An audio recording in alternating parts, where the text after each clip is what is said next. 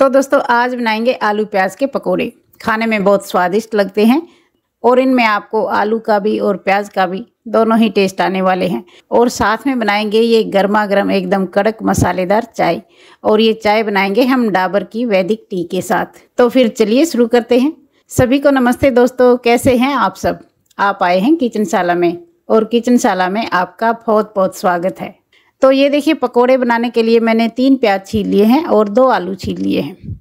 तो प्याज को हम इस तरह पतला पतला काट लेंगे और ये जो बीच में जड़ होती है ना, इसको निकाल देंगे और इस तरह सारे प्याज हम पतले पतले काट लेंगे। ये देखिए, मैंने काट लिए हैं।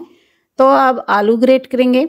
ग्रेट करने के लिए ये वाला मैंने ग्रेटर ले लिया है। ये जो मोटी साइड होती है ना, इससे हम ग्रेट करेंगे और आलू को इस तरह लंबे साइड में रखना है ताकि लंबे लच्छे इसके बन के तैयार हों। तो दोनों आलूओं को हम इस तरह से ग्रेट कर लेंगे। ग्रेट करने के बाद इनको डाल लेंगे एक बर्तन में और पानी डाल के इनको हम दो तीन बार अच्छे से धोएँगे, क्योंकि ये जो वाइट स्टार्च है ना, ये बिल्कुल निकल जाना चाहिए। तो ये देखिए, इनको मैंने तीन बार धो लिया है। अब इनमें वाइट वाला पानी बिल्कुल नहीं है। तो अब हम क्या करेंगे? इनसे पानी बिल्कुल निचोड़ देंगे, जितना हम निकाल सके इनका पानी निकाल देंगे और एक दूसरे बर्तन में डाल लेते हैं। और ये देखिए अब, ये आलू के लच्छे हैं, देखिए कितने अलग अलग हो गए ना, बिल्कुल सूखे सूखे हैं। तो ये जो प्याज हमने काटे थे ना, इनको भी इस तरह हाथ से मसल लेंगे ताकि ये अलग अलग हो जाएँ। इस तरह से देखिए ये अलग हो गए हैं तो इनको भी इन आलूओं के साथ ही हम मिला लेंगे। और अब इसमें साथ में ही कुछ मसाले डाल लेते हैं। एक चौथाई चम्मच हल्दी डालेंगे, आधी चम्मच लाल मिर्च पाउडर डालेंगे। आप चाहें तो हरी मिर्च भी डाल सकते हैं या फिर चिली फ्लेक्स भी डाल सकते हैं। एक चम्मच धनिया पाउडर डालेंगे, एक चम्मच अमचूर पाउडर डालेंगे। आप चाहें चाट मसाला भी डाल सकते हैं या फिर नींबू का रस भी डाल सकते हैं। और आधी चम्मच गरम मसाला डालेंगे, आधी चम्मच हम इसमें अजवाइन रगड़ के डालेंगे। जब भी पूरी या पकोड़े बनाएँ तो अजवाइन ज़रूर डाल लेनी चाहिए ताकि गैस एसिडिटी ना बने। थोड़ी इसमें ये कसूरी मेथी डालेंगे। बहुत अच्छी खुशबू आती है और अच्छा टेस्ट बनता है। और एक चम्मच इसमें ये अदरक लहसुन का पेस्ट डाल लेंगे। आप चाहें तो अदरक लहसुन कूट के डाल लीजिए। और सारे मसालों को अच्छे से मिक्स कर देंगे आलू प्याज के साथ ताकि आलू प्याज पे मसालों की कोटिंग हो जाए। और अब हम डालेंगे इसमें बेसन। ये एक कटोरी बेसन है। आधी कटोरी बेसन की हम इसमें डालेंगे और आधी कटोरी डालेंगे चावल का आटा।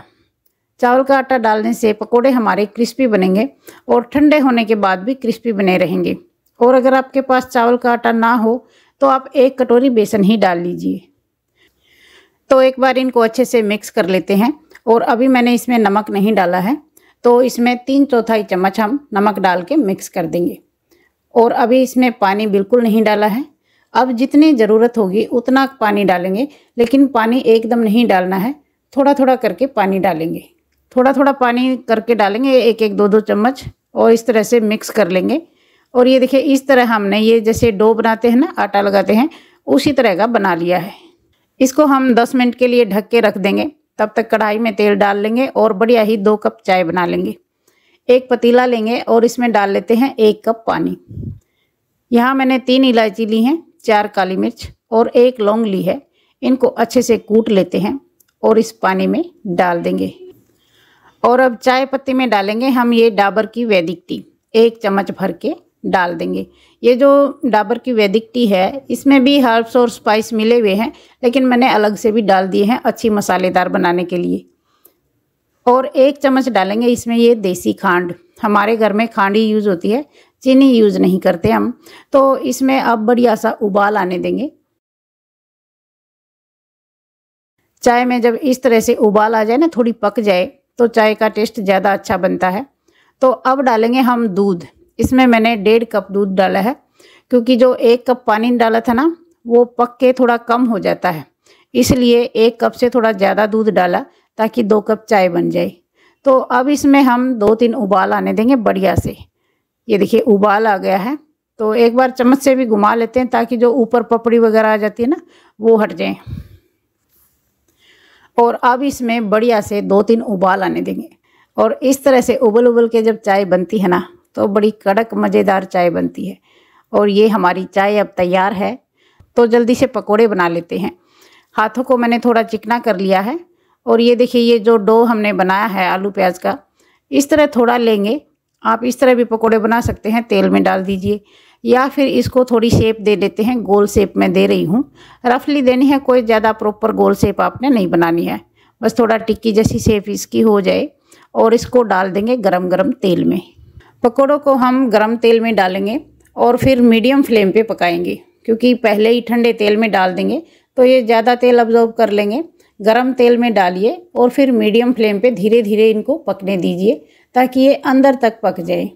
और इनको हम दोनों साइड से अलटते पलटते हुए गोल्डन कलर आने तक पका लेंगे। अगर दोस्तों आपको आज की पकौड़ों की रेसिपी पसंद आ रही हो ना तो एक लाइक ज़रूर करना और चैनल पर नए हो तो चैनल को सब्सक्राइब करना बिल्कुल मत भूलना। ये देखिए, इनको मैंने अलट पलट के दोनों साइड से पका लिया है। अच्छा गोल्डन कलर इनका आ गया है तो इनको अब एक जाली में निकाल लेते हैं। जाली में निकालने से इनका जो एक्स्ट्रा तेल है ना, वो निकल जाएगा। तो सेम प्रोसेस से हम सारे पकोड़े बना के तैयार करेंगे। और साथ में ये गर्मा गर्म कड़क मसालेदार चाय भी डाल लेते हैं। दोस्तों, बारिश के मौसम में पकोड़े खाने को मिल जाए और साथ में गर्मा गर्म चाय पीने को मिल जाए तो मज़ा ही अलग होता है। तो दोस्तों, आपको आज की रेसिपी कैसी लगी? पसंद आई हो तो लाइक कर दीजिए और चैनल को सब्सक्राइब कर लीजिए। जल्दी मिलते हैं नई वीडियो में। तब तक के लिए take care bye bye thank you